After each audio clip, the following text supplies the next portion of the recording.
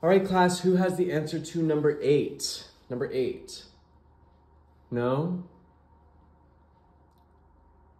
No. Um, this is a simple unit conversion problem.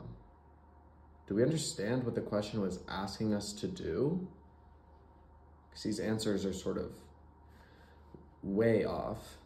Um, okay, show of hands and be honest. Who did the at-home learning modules? Two of us.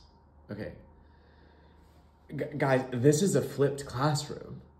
You know, you have to do the learning at home. We, there's simply not enough time in the class period for me to teach the material and for us to then apply the information in labs. We need the class time for labs. So you have to sort of take accountability for doing the learning at home, you know, and that's through the learning modules. It's looking through the textbook. If you need extra help, there's Khan Academy.